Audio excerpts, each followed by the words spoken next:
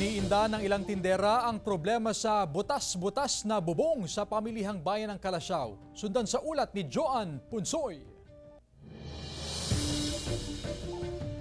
Problema ng ilang tendera sa pamilihang bayan ng Kalasyaw, Pangasinan ang butas-butas na bubong ng palengke. Tumutulo raw ang tubig tuwing umuulan. Maraming tubig na lumalabas dyan, diretso sa ano, sa baba, sa flooring. Ah, nilalagyan namin ng plastic po. Di sila dumadaan kasi tumumetulo, bububos yung tubig. Nawawalan kami ng customer, ma'am.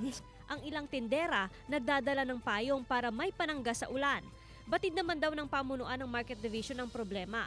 Sinisimulan na raw ng Municipal Engineering Office na ayusin ang problema sa bubong. Pinalitan ng sirang gutter sa palengke. tuwing tagulan, hindi natin maiwasan yung mga RTW section dito, yung mga um, stall. Talagang yan talaga number one na kinocomplain nila. Pero sa ngayon, ah, nagawa na ng ating um, engineering department Ayon sa Municipal Engineering Office, papalitan din ang mga yero sa dry section. Umaasa ang mga negosyante na mas dadayo ang mga mamimili kapag natapos na ang pagsasaayos sa bubong ng palengke. Kasama si Ron Alistair Tanyedo, Joan Punsoy, One North Central Luzon.